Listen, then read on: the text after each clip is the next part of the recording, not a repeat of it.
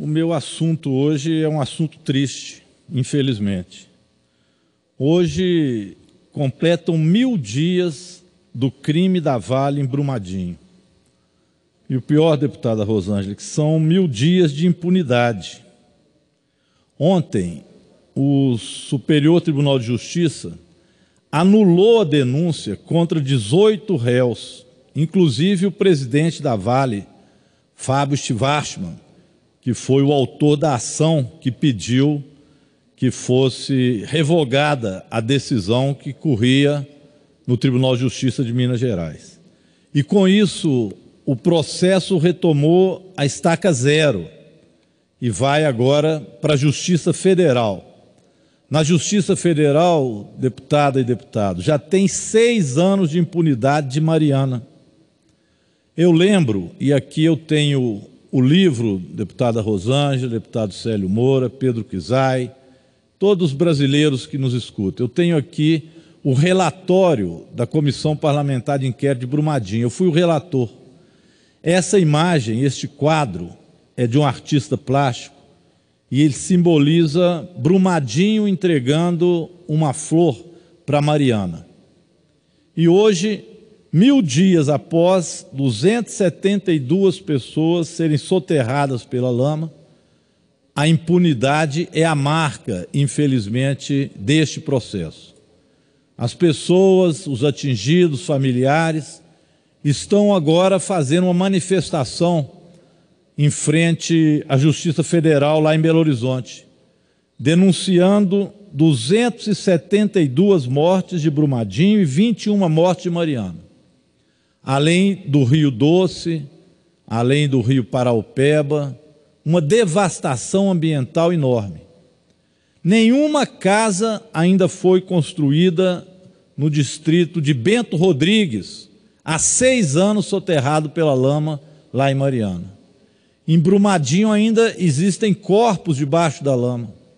E a impunidade permanece. Repito, mil dias de impunidade em Brumadinho seis anos de impunidade lá em Mariana.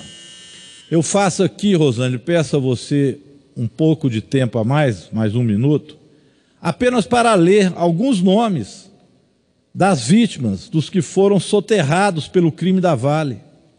E olha que a Vale distribuiu 30 bilhões de dividendos mês passado, recorde, para banqueiros e acionistas e comemora lucros exorbitantes.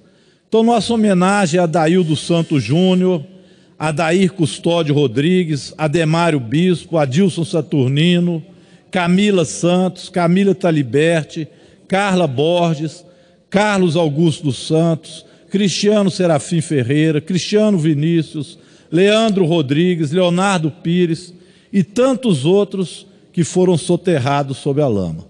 Eu peço deputada Rosângela, que possa conceder aqui um minuto de silêncio a estas vítimas, tanto de Brumadinho quanto de Mariana. Um minuto de silêncio e, ao mesmo tempo, um minuto de reflexão para que este crime de Brumadinho e este crime da Vale não passem em vão, não sejam esquecidos, que essas pessoas possam ser punidas. Eu peço um minuto, deputada Rosane, em homenagem a essas vítimas. Deputado, já lhe concedi um minuto a mais. Te darei mais 30 segundos. Tempo de líder. É apenas 30 segundos em homenagem a essas vítimas que eu peço de silêncio. E peço a Vossa Excelência que possa também colocar na voz do Brasil e nas nossas instâncias, em homenagem a essas vítimas. Mil dias de impunidade em Brumadinho. Seis anos de impunidade, Mariana.